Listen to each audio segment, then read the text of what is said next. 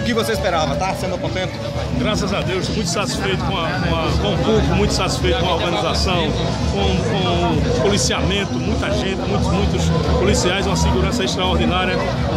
A gente não pode reclamar de Deus e logo cedo deu uma chuvada, a gente ficou um pouco apreensivo em relação a isso, mas o acordo com a gente, com Jesus e com São Pedro é grande também.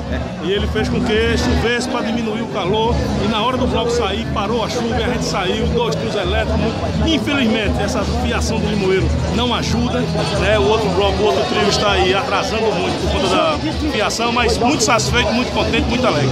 A população compareceu em peso. Era o esperado? É o esperado, muita gente. O ano passado foi calculado em 12 mil pessoas. Eu acredito. Quando chegar na, na, na Pinheiro, quando o João do Morro entrar, vai tomar Severino Pinheiro toda, que é uma grande atração do Carnaval de Pernambuco. E vai ser sucesso mais uma vez. Tá certo, Joãozinho. Muito obrigado e parabéns. Obrigado, Júnior. Um abraço para você. Bom Carnaval. Valeu.